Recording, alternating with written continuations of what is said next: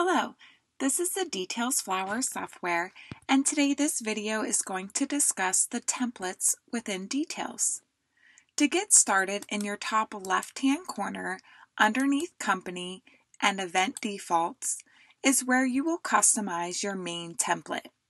You'll notice it comes preloaded with a template, and you can choose to customize this by changing any of the names, setting your estimated prices, adding new rows, or taking any off. On the left-hand side are some additional worksheet settings for you to continue to customize it accordingly. From your event list, once you create an event, You'll notice when you head into that event in your worksheet section that it has preloaded the template you set in your company settings. From here, you can customize this worksheet area to suit your client Alexa. Once again, you can add any additional rows or take any off. And from your design board underneath Menu and Edit Worksheet, you will find those worksheet settings to add any additional line items. If you had customized this worksheet area and want to save it as an additional template to the one in your company settings, you can click Save at the bottom where it says Save As, select New Template, and name it accordingly. All of your templates will be found in the top right hand corner underneath Options and Load Template. Some good examples will be like corporate versus funeral, or maybe you make like a hotel template versus the farm venue. Templates can also be completed events. For example, if I head to my event list and had an event that was completed that I wanted to use for Alexa, let's say Bob.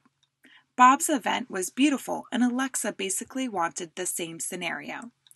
I load in Bob's event, choose at the bottom to save it as a template, name that template accordingly,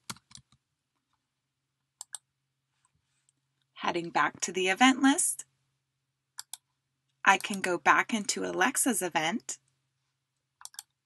and choose to load that template in from the top right hand corner under Options and Load Template.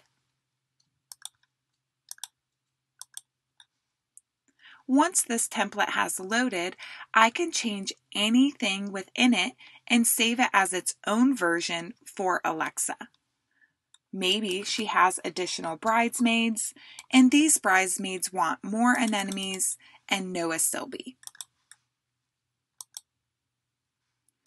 A great feature in our software is the option to favorite all these items that you're using within your recipe to the design board.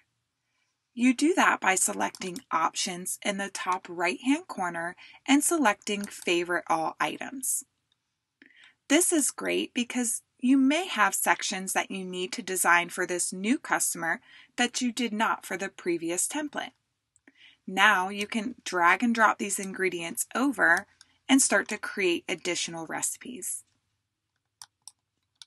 In addition to favoriting the items, you can also favorite the recipes. We do this by opening the recipe, choosing in our arrow up and down recipe options to favorite the recipe.